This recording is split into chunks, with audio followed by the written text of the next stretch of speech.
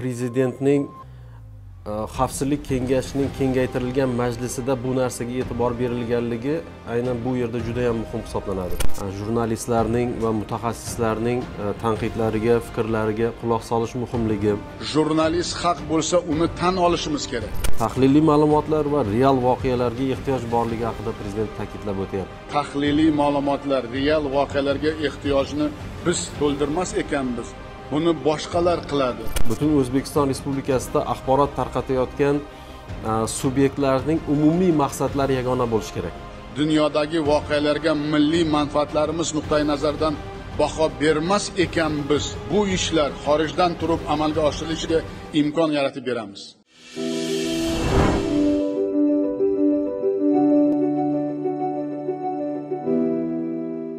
Biz o'zbekiston axborot makonida milliy kontent yaratishni o'z qo'limizga olmas ekanmiz. Dunyodagi voqealarga milliy manfaatlarimiz nuqtai nazaridan baho bermas ekanmiz. Bu ishlar xorijdan turib amalga oshirilishiga imkon yaratib beramiz.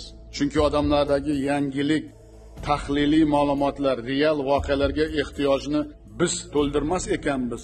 Buni boshqalar qiladi. Bunga mutlaqo yo'l qo'yib bo'lmaydi.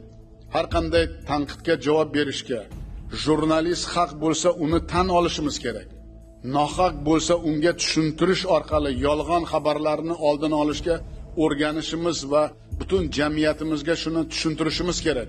Bu nopok va yolg'onligini. O'zbekiston respublikasi prezidenti shavkat mirziyoyev o'n uchinchi e, yanvar kuni an'anaviy e, vatan himoyachilari kuni munosabati bilan xavfsizlik kengashining kengaytirilgan yig'ilishida nutq so'zladi va unda e, o'zbekiston axborot makoni uchun xususan jurnalistlar uchun e, va shu bilan birga siyosiy tahlilchilar uchun va axborot kontentini yaratayotgan insonlar uchun judayam muhim bir masalalarni ko'tardi. Bu xususan Э, demak э, o'zbekiston axborot maydonida э, milliy kontent yaratish masalasi haqida gapirildi va bu milliy kontentni yaratish e, o'ta muhim ekanligini ta'kidladi. Aynan bunday e, tahliliy ma'lumotlar e, yaratilayotgan paytda jurnalistlarning va mutaxassislarning tanqidlariga fikrlariga quloq solish muhimligi va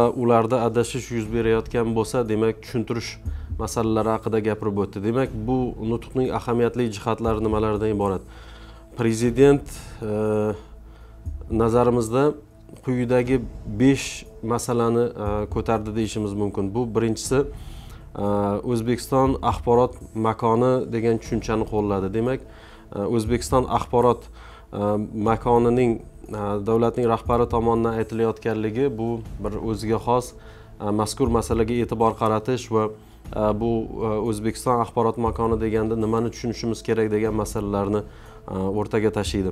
Ya'ni o'zbekiston axborot makoni deganimizda bu o'zbekistonga bugungi kunda ta'sir ko'rsatayotgan judayam katta axborot bosimini berayotgan axborot yuklamasini berayotgan davlatlar yoki axborot subyektlaridan himoyalangan ya'ni himoyalangan deganimizda davlatning e, yopilishi nuqtai nazaridan emas balki davlatning ichidagi e, axborot aylanishining erkinligi nuqtai nazaridan tahlillarning kuchliligi nuqtai nazaridan e, yaratilgan bir axborot maydoni sifatida biz ko'rishimiz kerak bo'ladi. Aynan prezidentning xavfsizlik kengashining kengaytirilgan majlisida bu narsaga e'tibor berilganligi aynan bu yerda juda yam muhim hisoblanadi. Prezident deylik bu masalani boshqa bir yig'ilishlarda ham aytishi mumkin edi lekin u bu masalani harbiylarning ichida e, xususan davlatning harbiy xavfsizligining e, teng yarmini bugungi kunda deylik e, axborot xavfsizligi tashkil qilishi va bu axborot xavfsizligi bevosita tahliliy ma'lumotlar bilan bog'liq bo'lishi va xalqqa real voqealarni yetkazish masalasi muhimligini prezident e, demak mana shu nutqidan bilishimiz mumkin. Aynan tahliliy ma'lumotlar va real voqealarga ehtiyoj borligi haqida prezident ta'kidlab o'tyapti. Demak e, axborot maydonining eng muhim xususiyati shundan iboratki bu yerda propaganda bo'lmasligi kerak. E, bu yerda milliy manfaatlarni ko'zlagan holda dunyodagi yuz berayotgan geosiyosiy voqealarga baho berish masalasi ko'rilyapti va prezident o'zining nutqida aytyaptiki tabiiyki bunday jarayonda э, o'zbekistonning э, siyosiy tizimiga ham siyosiy institutlariga ham yetarlicha bosim o'tkaziladi va ularga ularga nisbatan tanqid bo'ladi degan xulosani bermoqda. Axborot aylanar ekan э, va butun dunyodagi axborot bosimiga qarshi turish uchun tabiiyki sifatli tahlillar talab etiladi. Bu sifatli tahlillar esa bevosita e, o'zbekistondagi siyosiy subyektlarga nisbatan siyosiy institutlarga nisbatan ham tegishli bosimni beradi. Aynan mana shunday sharoitda tanqidni ko'tara olish masalasi ham bugungi kunda prezident tomonidan e, o'rtaga tashlanmoqda. Endi e, milliy kontent masalasiga to'xtaladigan bo'lsak milliy kontent bu o'zbekistonning e, siyosiy konyekturasi o'zbekistonning e, milliy manfaatlari nuqtai nazaridan e, yaratilgan va ma'lum bir yo'nalishni ko'zlagan o'zbekiston respublikasining tashqi siyosatining prinsiplari asosidan kelib chiqadigan va eng asosiysi milliy kontent geosiyosiy munosabatlarni tahlil qilishda uning suverenitetiga urg'u beradigan va suveren xavfsizligini ta'minlashga qaratilgan o'ta murakkab jarayonni milliy kontent desak bo'ladi. Demak bu milliy kontent deganimizda albatta o'zbekistonning suvereniteti muhim ahamiyat kasb etadi. Shu yerda yana bir narsani ta'kidlab o'tmoqchiman. Davlat ichkarisida siyosiy rejimga siyosiy institutlarga nisbatan turli xil e'tirozlar bo'lishi mumkin xususan inson huquqlari nuqtai nazaridan Э, siyosiy huquqlarning ta'minlanganligi e, nuqtai nazaridan ta'lim iqtisod va boshqa nuqtai nazardan ijtimoiy masalalar sotsial masalalar nuqtai nazaridan e, e, e'tiroz bo'lishi mumkin.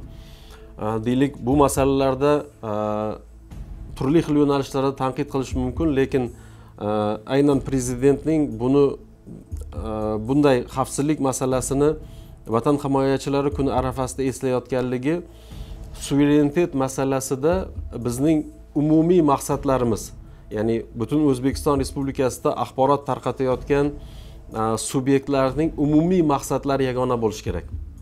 Ya'ni bu masalada biz turli xil fikrda bo'lmasligimiz kerak. Ya'ni o'zbekiston suvereniteti o'zbekistonning demak mustaqilligi bu bahslashadigan masala emas. Bu masalada deylik butun o'zbekiston uning siyosiy tizimi siyosiy institutlari axborot tarqatuvchilari tahlilchilari albatta yagona fikrda bo'lishi kerak aynan mana shu prezident tomonidan ilgari surilayotgan deylik fikrning mening nazarimda umumiy mohiyati shuni tashkil qiladi albatta bizning siyosiy rejimga nisbatan elitaga nisbatan turli xil e'tirozlarimiz bo'lishi mumkin lekin Э, davlat mustaqilligi va uning suvereniteti masalasida e, hammamiz yakdil e, bir fikrda bo'lishimiz kerak.